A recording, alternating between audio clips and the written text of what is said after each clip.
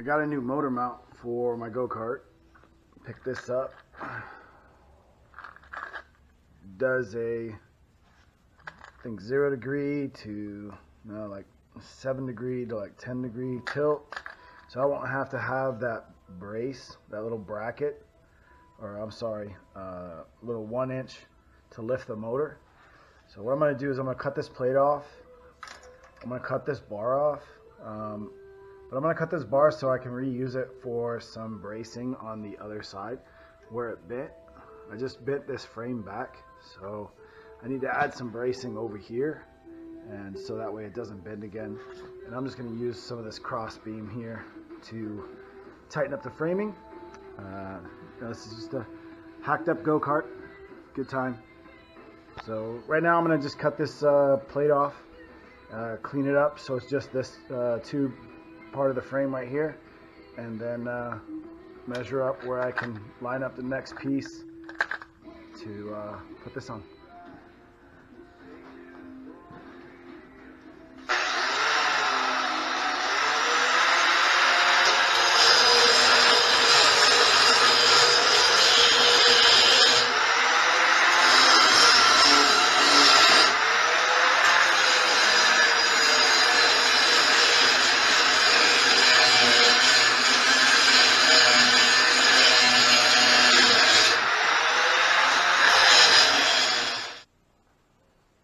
Getting a little closer. I got the piece made.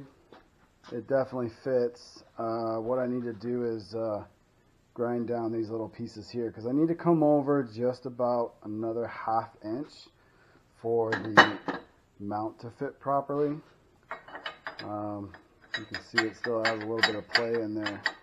So we'll get that fixed up and then uh, might as well cut off the tensioner too because that's going to be misaligned. It's not going to be working out right. But I'm going to wait to cut that off just until I can see what I need to really do. I got it all lined up and evened up. It's about three and a half inches and three and a half inches each side.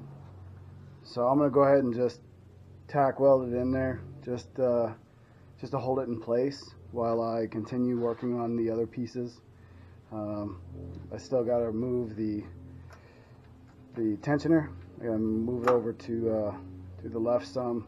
It's quite a bit to do. I will have to cut off all the seat pieces and reposition the seat as well. Um, but for now, I'm just trying to get the motor lined up, get the motor in, get uh, the chain lined up, and then I'll go from there. Put the seat uh, back brace back on. It's just tacked in right here. Uh, it was a little bit further over to the right and it didn't really look look very well. And it also wasn't a good support on the back. Now it's right in the middle of the back, right in the middle of the seat, so it works really well. I'm just working on the chain tensioner tab now. But uh, it's nice to have the seat back on.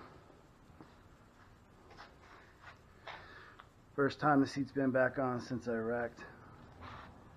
But it's coming together. Is what I'm going to make the little tab for the chain tensioner out of. Just little steel here.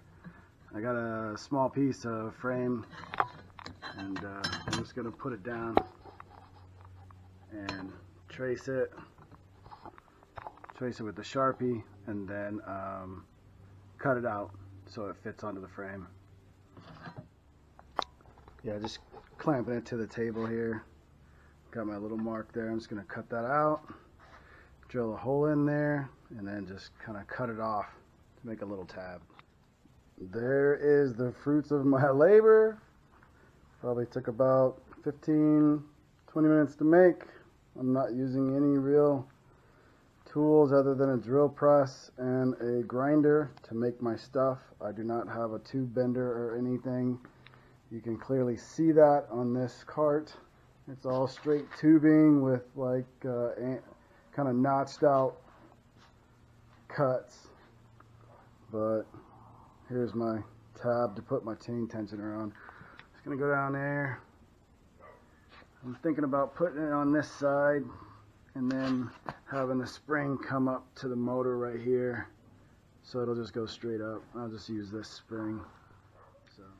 Here's a little shot of how it came out.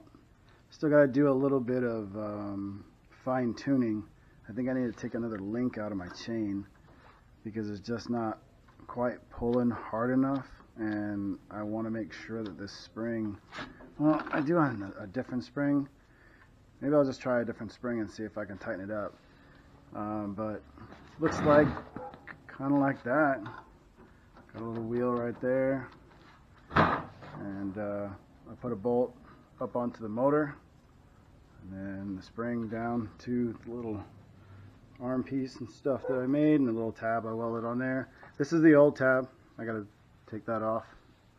But uh, yeah, that's basically how it how it went. So flopping back and forth here. So just tighten that up, but there's chain tensioner is working really well. Uh, everything else seems to be fine, but like I said, this is kind of tilted, so I gotta secure this a little bit better. Um, I do have to go back around and do a bunch of uh, tightening up on the welds, but overall everything seems to be really good. And